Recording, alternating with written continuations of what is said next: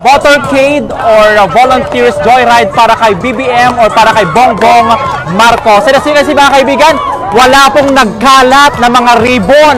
Ayan, wala pong nagkalat ng anumang kulay dito po sa National Highway unlike ng isinasagawang ibang motorcade po ng ibang kandidato or ng ibang supporters po ah, bilang pagka-presidente. Ayan. So once again, we are live and alive dito lamang po sa Narvacan, Ilocos kung saan isinasagawa ang pinakamahabang ah, motorcycle, motorcade caravan mula sa Sinait hanggang sa bayan po ng Narvacan, Ilocos. So ayan nga po, ah, like what I mentioned kanina, may paparating pa na hindi ko alam kung pang ilang set na po mga kaibigan pero you know it's really overwhelming the number is so overwhelming kasi nga ah, sabi nga na nakausap natin mga organizers nasa more or less nasa 5,000 participants po ang ah, kasalukuyang lumalahok sa motorcycle caravan dito sa buong probinsya ng Ilocos. So yes, kung tatanungin po ninyo kung meron pa ba or existing pa ba ang Solid North So nakikita po natin, solid na solid pa rin po ang pagsuporta para kay Bongbong Marcos.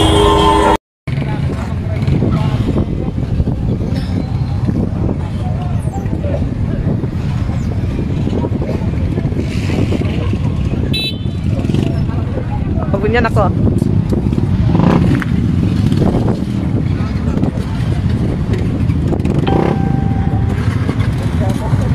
Okay guys, live tayo sa Ikis di Candon.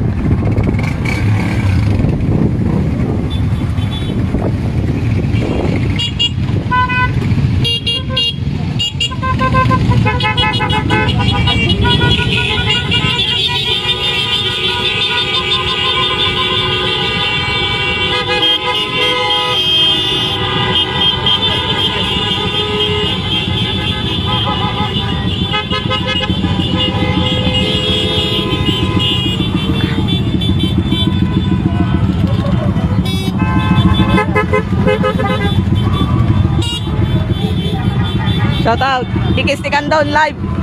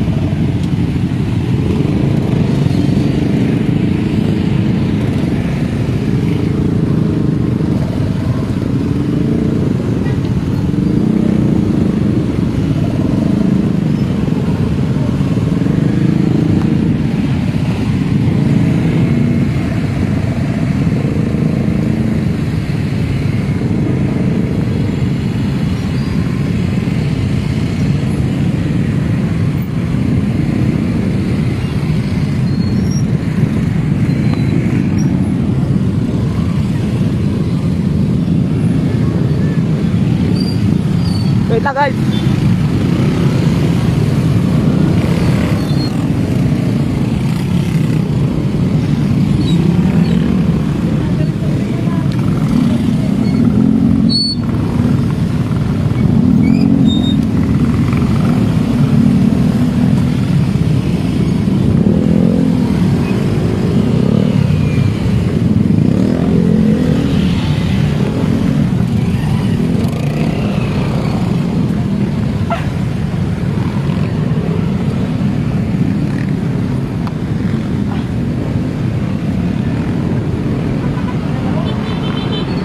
Rote Flagge erreicht